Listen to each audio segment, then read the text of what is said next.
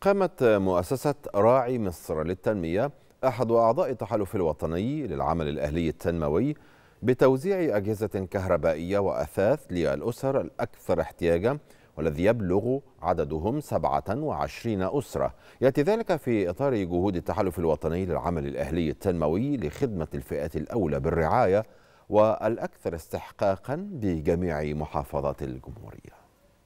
في إطار جهود التحالف الوطني للعمل الأهلي التنموي لخدمة الفئات الأولى بالرعاية والأكثر استحقاقا بجميع محافظات الجمهورية قامت مؤسسة راعي مصر للتنمية أحد أعضاء التحالف الوطني بتوزيع أجهزة كهربائية وأثاث للأسر الأكثر احتياجا وعددها 27 التحالف الوطني آه، وإحنا كعضو تحالف وطني ده دور مهم التحالف الوطني بكل مؤسسات الخيرية بتقدم هذا الأمر لكل الناس آه، الأكثر احتياجا بقدر الإمكان لأن يعني نتمنى إن إحنا نغطي كل احتياجات الناس لكن بقدر الإمكان بنحاول. التوزيع اللي بيتم النهارده ده توزيع شهري.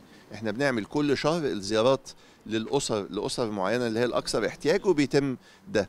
عندنا أيضا توزيع بيكون في مناطق مختلفة في الصعيد كتوزيع جغرافي برضه بيبقى لينا آه، توزيع شهري بنفس الصورة كده وأكبر كمان. مؤسسة التحالف الوطني تقوم برصد الأسر الأولى برعاية وتحديد ومعرفة السلع والخدمات الضرورية التي تحتاجها هذه الأسر وذلك تماشيا مع ميثاق التحالف. وهو تقديم الدعم للمواطنين في كل القرى والنجوع بكافة المحافظات إحنا النهاردة موجودين في المؤسسة في مبادرة اسمها فرح قلبي. المبادرة دي إحنا بنبقى مهتمين ان إحنا نفرح الناس مش بس ان إحنا نوزع الاحتياجات بتاعتهم للأسر المحتاجة أو العرايس لا إحنا بنبقى عايزين نجيبهم في جو من الفرحة كرنفالي بقى في أغاني بقى في زغاريت بنبارك للعرايس.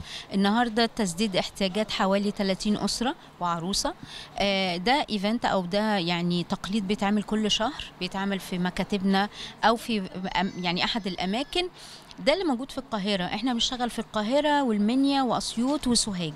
يعني كل شهر بنعمل آه، أربعة تجمع بالشكل دوت. يعني بنساهم مع حوالي من 120 ل 150 أسرة شهريا في تسديد احتياجاتهم من أساس وبعض الأجهزة. واحدة صاحبة ماما هي اللي ادتنا الرقم المؤسسة هنا وكانت بكلمهم مع الواتس وبيتابعوني و... وقالوا لي إحنا محتاجين ورقة نص الإكليل المحضر وحجز الجواز.